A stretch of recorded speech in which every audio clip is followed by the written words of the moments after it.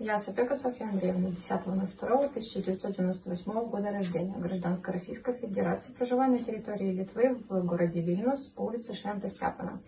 23.05.2021 года летела на одном самолете с Романом Протасевичем. Также являюсь редактором телеграм-канала «Черная книга Беларуси», которая публикует э, личную информацию о сотрудниках внутренних дел.